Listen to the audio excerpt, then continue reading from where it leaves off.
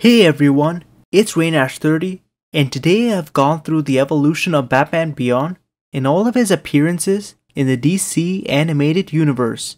So, to find out how this Batman has changed throughout the decades, allow me to fill in the blanks and let's get started. Number 1 Batman Beyond.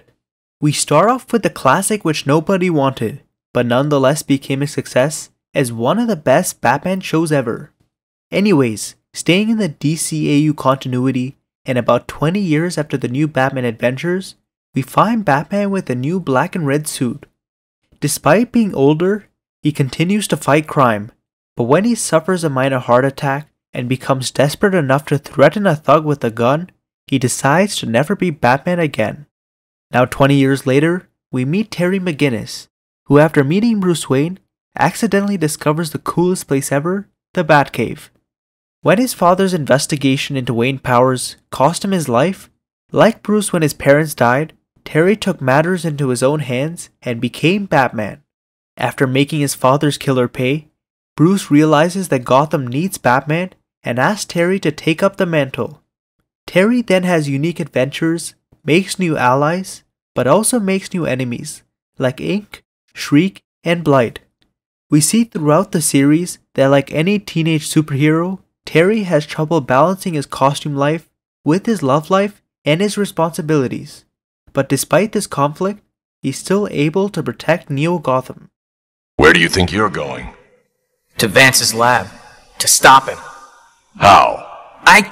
Uh, Look what the suit did to that wall. You think you can go up against that? sometimes I ask myself is Batman just the suit, or is the man inside? Time to find out. Number 2 Batman Beyond Return of the Joker. About two years after being Batman, we find Terry trying to stop a new gang of Jokers.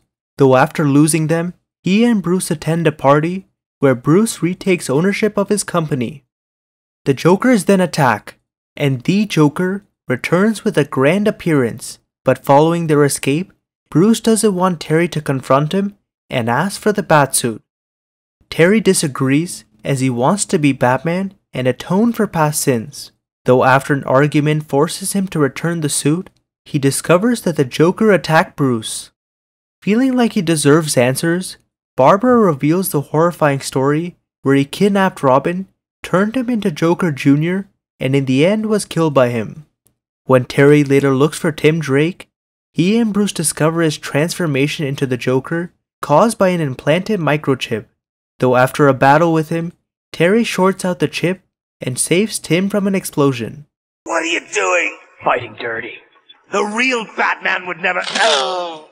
Told you you didn't know me. Funny guy. Can't say the same for you. Impudent brat. Who do you think you're talking to? Not a comedian, I'll tell you that. Number 3 The Zeta Project. In the spin off series, taking place after meeting Zeta for the second time, Infiltration Unit 7 continues searching for Zeta and tracks him to a mall in Gotham City. When it begins attacking, Zeta and his friend Ro are able to trap him, but back in the Batcave, after hearing the report, Bruce and Terry see Zeta in the mall security footage and think he's responsible for the chaos. Terry then becomes angry with himself for trusting he wouldn't harm anyone and tracks him to a hospital, where he attacks him but learns Zeta isn't responsible.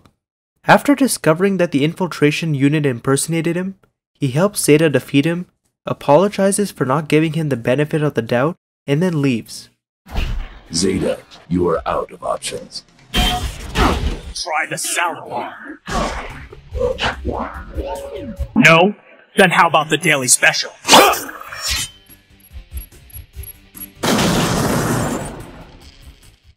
Number 4 Static Shock. After the new Batman adventures, we find Static in the Batcave helping Batman study a criminal's time machine. But when Static gets caught in its field, he's pulled into the machine and sent 40 years into the future. Static then discovers a new Batcave where Terry arrives and engages him in a fight. Though Bruce reveals he's Static, Terry acts surprised as his Static is 40 years older. Since Bruce has been expecting his arrival, he asks him to help him find his future self as he's been captured by Kobra. Batman then partners with Static as the Justice League and Gear are busy and goes undercover to get into Kobra. So when they later find their platform, they break in, fight their army, and help set free the future Static. Batman's not gonna be happy when he hears how you've been treating his guests. First, we don't have guests here. And second, I'm Batman. Ah! Getting sloppy. Sloppy, huh? Number 5 Justice League Unlimited. When Batman, Wonder Woman, and Green Lantern follow Chronos into his time portal again, they arrive in an alternate future. Terry and the remaining members of the Justice League then arrive as enhanced Jokers are waiting to ambush them. After realizing they're outmatched, they escape to Terry's old high school or the current Justice League headquarters, where we see old Bruce Wayne meeting Batman, which rarely happens. They then begin looking for Chronos as he's damaging the space time continuum. But when they find him, a time shift occurs where soldiers appear and begin shooting Terry. The Dee Dee clones then grab him and electrocute him to death. But after Batman reprograms Chronos' time belt, the timeline is restored to equilibrium. This is all we have left now. Deal with it. Surprised to see me? A little. I'm more surprised that I lived so long. Batman, Bruce Wayne. Bruce Wayne, Batman.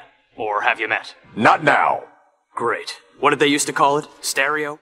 In another episode, the plot serves as a conclusion to the Batman Beyond storyline. We find Terry breaking into Amanda Waller's home to find some answers, as he reveals that after checking his DNA, he discovered he was Bruce's son. Angry at Bruce for believing he needed a successor, Amanda reveals the truth that she's responsible for overriding his DNA as she realized that the world will always need a Batman. Still thinking that being Batman is a curse, Amanda convinces Terry that he's not Bruce's clone, but his son, and if he wants a better life than his, he should take care of the people who love him. Kent called. Nothing apocalyptic, he just wants your opinion on a case he's working. Said you could meet him at the Metro Tower. Right. Better suit up. You should eat something first. Keep up your strength. When I get back. You're a stubborn piece of work, you know that. Just like my old man. Number 6 Batman, the Brave and the Bold. When Batman gets seriously injured, Aquaman, Shazam, Green Arrow, and Plastic Man decide to become Batman and protect Gotham. While stopping crimes and defeating supervillains, the Joker attacks and manages to subdue all the Batman imposters, though the real Batman later arrives and takes down the Joker. After a wormhole opens and Batman from across the multiverse arrive to help, Batman agrees that they can join his patrol, and we then see Terry's Batman making a 3 second cameo in the top right corner. Would have been here sooner, but wormhole's are tricky business.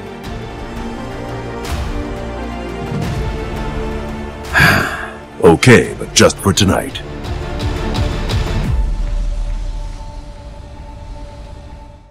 Number 7 Darwyn Cooke's Batman 75th Anniversary Short. As Batman has created a legacy and franchise spanning over 80 years, back in 2014, Darwin Cook created a short of Batman Beyond to celebrate 75 years of The Dark Knight. We find Terry arriving in the Batcave as he discovers that Bruce has been injured and Batman has attacked him. Batman, with his new adventures look, then battles Terry, but after Terry discovers it's an android, which I'm guessing is a reference to Hardac's androids from the animated series, it gets blown up and incinerated. As Bruce takes his utility belt, he and Terry discover additional androids of Batman through the decades. Who sent that thing? It didn't say. Whoever it was. They didn't stop at one.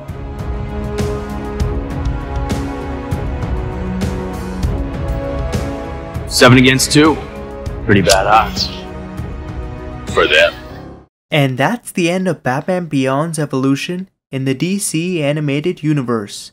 Now if you enjoyed this video, don't forget to give me a like and subscribe, follow me on Instagram, and hit the bell notifications. Thanks for watching, and I'll see you guys in the next evolution.